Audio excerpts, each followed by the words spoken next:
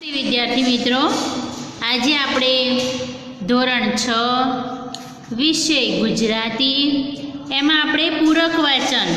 પાછળના પાર્ટ છે ચોપડીમાં, પાન નંબર ચુંવોતેર પર આપેલા છે. એમાં આપણે પૂરક વાચન એક અને બે ભણી ચૂક્યા.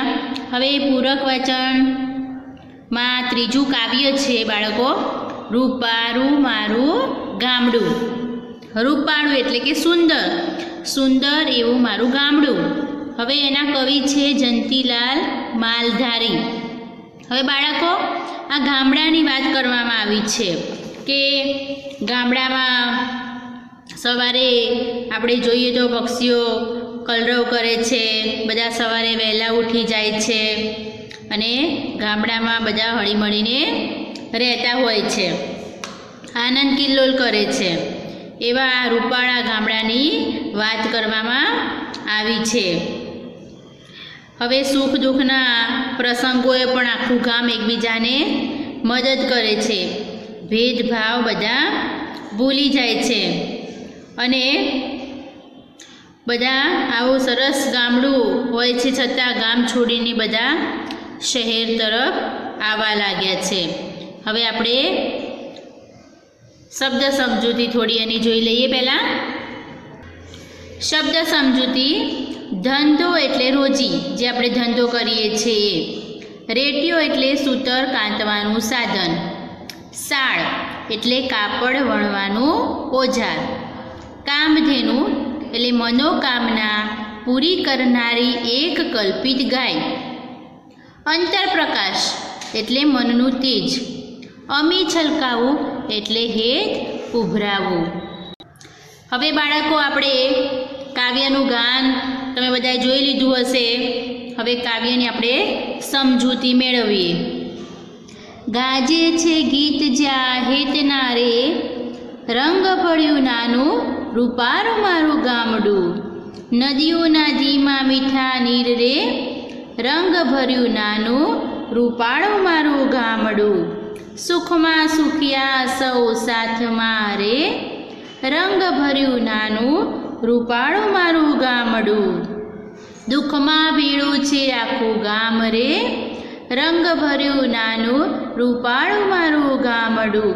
ધરતી ખેડે છે સૌ સાથમાં રે રંગ ભર્યું નાનું રૂપાળું મારું ગામડું. ધંધા વિનાનું નથી કોઈ રે. રંગ ભર્યું નાનું રૂપાળું મારું ગામડું. બાળકો અહીંયા કવિ કહે છે કે જ્યાં હેતના ગીતો ગવાય છે એટલે પ્રેમના ગીતો ગવાય છે, એવું રંગભર્યું નાનકડું રૂપાળું મારું ગામડું છે.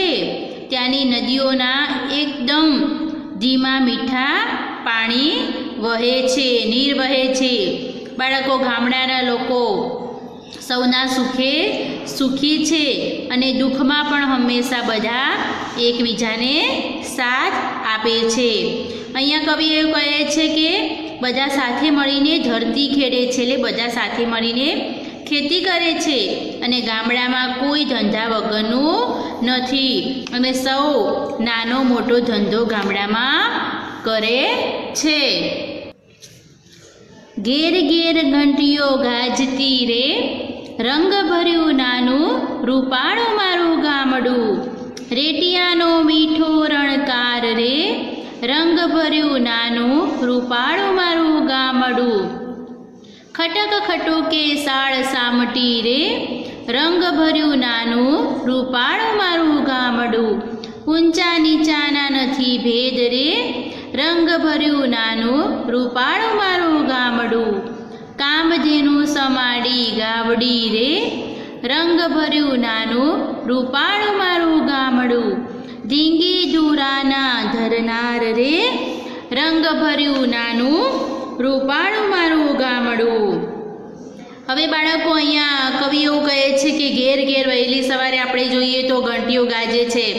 અત્યારે તો આપણે ઘર ઘંટી અનાજ નાખ્યું ને અંદર દરાઈ જાય જાતે જ. પણ પહેલાંના જમાનામાં તો ગામડે ઘરે ઘંટીઓ હતી, ઘેર ઘેર જાતે ઘંટીથી હાથ હાથની ઘંટી આવે છે, એમાં અનાજ દરવું પડે એટલે ઘંટીઓનો અવાજ આવે અને રેડિયો ચાલવાથી મીઠો રણકાર ગુંજે છે. રેડિયો એટલે એક સૂતર કાંતવાનું સાધન હતું.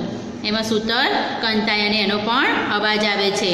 અહીં કાપડ વણવાની સાળ ખટુક ખટુક ચાલે છે. ગામડામાં કાપડ વણાય. એની સાળ બનાવે તો એ ખટું ખટું ચાલે છે. ત્યાં ઊંચ નીચના કોઈ ભેદભાવ હોતા નથી. અને મનોકામના પૂરી કરે એવી ગાયો પણ ગામડામાં જ જોવા મળે છે. પછી બળદો પણ, હળ. હળ જોડાય બળદોને એવા બળદો પણ ખેતર ખેડે છે એવા આપણને ગામડે જ જોવા મળે છે. અંતર પ્રકાશ સૌની આંખમાં રે રંગ ભળ્યું નાનું રૂપાળું મારું ગામડું. ધરતી ધ્રુજે છે જેને પાય રે રંગ ભર્યું નાનું રૂપાળું મારું ગામડું.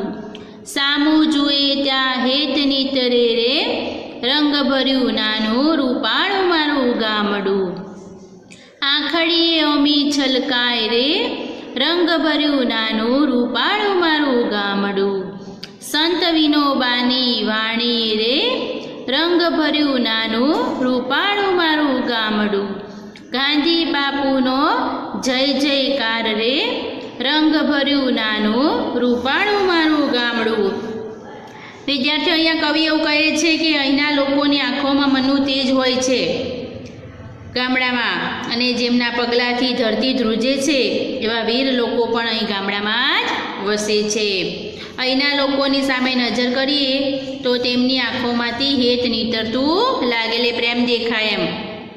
સૌની આંખોમાંથી અમૃત છલકાય છે અને સંત વિનોબાની વાણી પણ અહીં ગામડામાં જ જોવા મળે છે. ગાંધી બાપુનો જય જયકાર થાય છે એવું રંગ ભર્યું નાનું રૂપાળું મારું ગામડું છે. તો બાળકો, આપણને આ રૂપારું મારું ગામડું એક ભાવગીત છે. એની સમજણ તમને પડી ગઈ હશે કે ગામડામાં કેવું હોય છે. અહીંયા શહેરમાં આપણને આવું બધું જોવા મળતું નથી. છતાં પણ આજકાલ લોકો ગામડાને છોડીને શહેરમાં આવવા લાગ્યા છે. ગામડામાં દુઃખ હોય તો પણ બાજુવાળો તરત જ આપણે આપણા જોડે આપણે દુઃખ પૂછવા આવી જાય છે.